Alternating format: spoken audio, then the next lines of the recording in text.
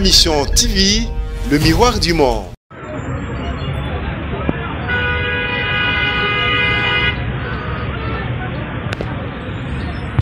L'UDPS, les militants de l'UDPS sont venus attaquer notre siège.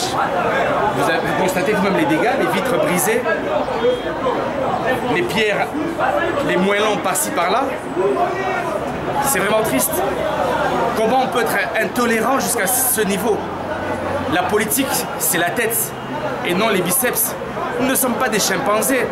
L'UDPS a tué un de nos militants, a tué un de nos militants, a tué un de nos militants qui est décédé ce matin. Et l'UDPS vient encore nous attaquer à ce jour. Bravo UDPS, bravo. Nous voulons le bonheur de toutes les 26 provinces et non d'une seule tribu ou d'un seul groupement ou d'un seul parti politique. C'est dommage. Ce que, ce que fait aujourd'hui l'UDPS, c'est triste et dommage pour la République démocratique du Congo. Nous voulons la paix en République démocratique du Congo. Pourquoi en arriver aux mains Personne n'a le monopole de la violence dans ce monde. Tout le monde peut être violent.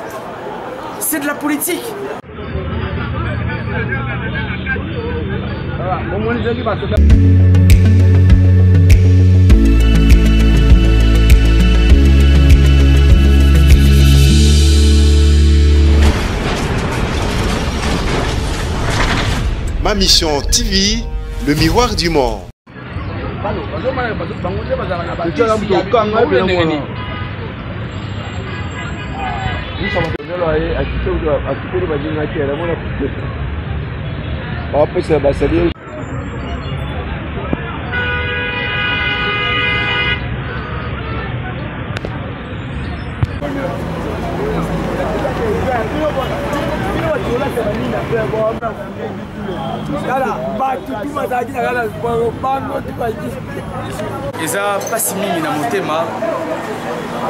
Vous savez, nous sommes en deuil.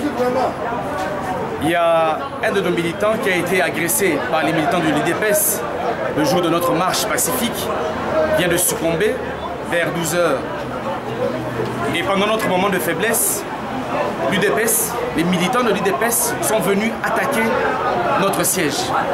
Vous, constatez vous-même les dégâts, les vitres brisées, les pierres, les moellons par-ci par-là. C'est vraiment triste. Comment on peut être intolérant jusqu'à ce niveau La politique, c'est la tête et non les biceps. Nous ne sommes pas des chimpanzés pour nous battre de corps en corps. Je suis triste pour ce pays, parce que ça, c'est les prémices d'une guerre civile. Nous voulons la paix en République démocratique du Congo. Pourquoi en arriver aux mains Personne n'a le monopole de la violence dans ce monde. Tout le monde peut être violent. C'est de la politique. Ce que nous voulons, c'est le bonheur du Congo. Nous voulons le bonheur de toutes les 26 provinces. Et non d'une seule tribu, ou d'un seul groupement, ou d'un seul parti politique. C'est dommage. Ce que, ce que aujourd'hui l'UDPS, c'est triste et dommage pour la République démocratique du Congo.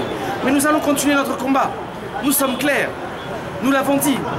Non à une série politisée. Non au glissement du président nommé. Non à la fraude électorale en 2023. Et nous disons, pour le quatrième point, non à cette taxe RAM qui qui est une escroquerie de l'État, une escroquerie du gouvernement de M. Tshisekedi. Les gens sont traumatisés. L'UDPS a tué un de nos militants qui est décédé ce matin. Et l'UDPS vient encore nous attaquer à ce jour. Bravo UDPS. Bravo.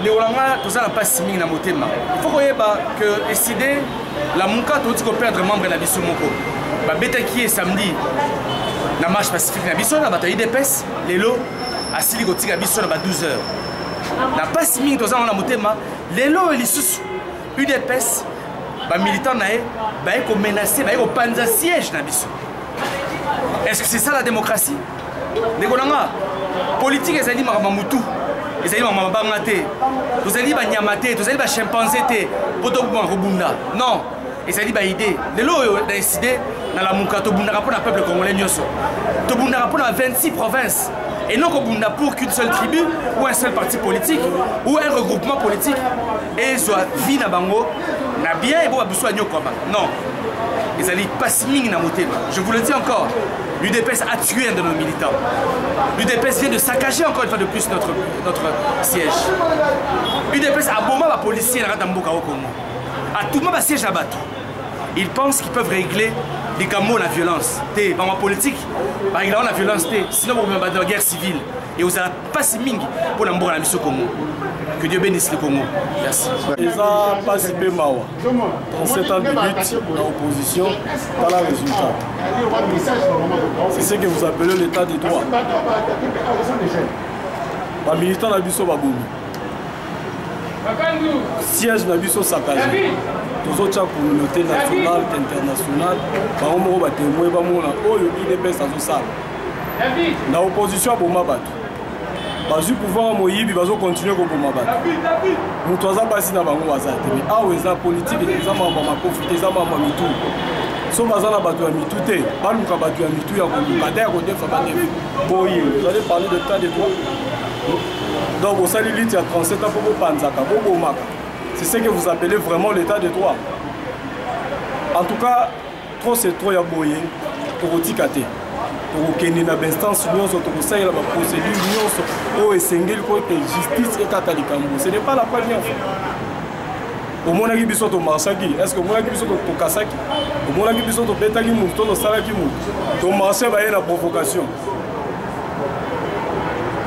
toleki tokipe te lelo oyo baye kosala boye na siège na moment tozolobela o ndeko na biso cadre moko ya eside alali kuna na nzoto ya malele kaka bango kutu basalaki en tout cas moko na ngai ya suka justice esala mosala nango tokokende na bainstance nyonso oyo mpo to rétablir le droit na makambo nyonso basala eh, ndeko na ngai liloba ezali kaka moko on en a marre na bato oyo ya udps bakomisi oyo ezali siège national ya eside lokola bilanga na bango ils viennent quand ils veulent donc baza kopanza kovandalise na kati ya, ya, ya siège national eza quand même normal te yango toza koyebisa bango jeunesse ya eside eza koyebisa bango ke que ce soit la dernière fois parce que ntango bayaka awa toreagisaka te mais moko toreagir ezala légitime défense mpo na biso tokoki te jamais totikaka bakotaka bapanza bavitre ndenge omoni bapanzi boye batya bamoto nde baza kosala yango on accepterait plus basala eloko wana yango ezalaki liloba na biso toza koyebisa baautorité compétente bakota likambo oyo ce n'est pas la première fois oyo ezali la énième fois baza koatake biso awa nous n'accepterons plus combat ya politique c'est dans la tête eza na motu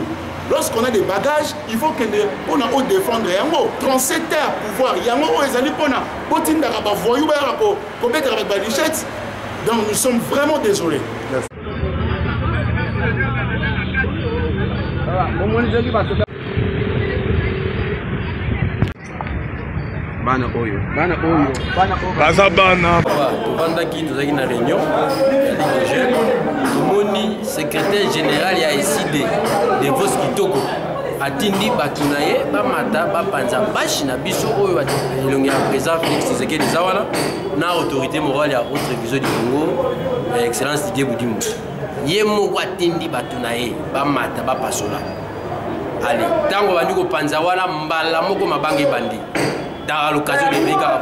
Je vais revendiquer ma comme d'abord, de revendiquer ça dans un calme. Ma bandi ko vandaliser yo ko moni ba image un peu partout. Donc euh, yango moni des ordres de ba policier ba ye, ba meke pe ko calmer situation. C'est un peu ça. En fait, on s'est là juste dans euh, une réunion à notre grande surprise tomoni kaka bato libanda bazokata bage eka ntango navandi omoni ka libanga euti na sikuna et en voulant protéger kobatela elongi boye nde libanga ebeti na nini na loboko soki tomoni bazomelanse babuka base ya Felix ya président Félix vu que ezali na ezala na président na na papa longo image na ndoko par rapport à quoi pour tout ça panneau wana elongi ya président Félix na ya ya excellence idée nde lelo babi te babuka bashe balongola nga vanda na réception wana namoni babwaki elongo lokola moto nde tobandi mbangu wana na glise pour na escalier na kwei ndeko na biso oyo azwi lipanga na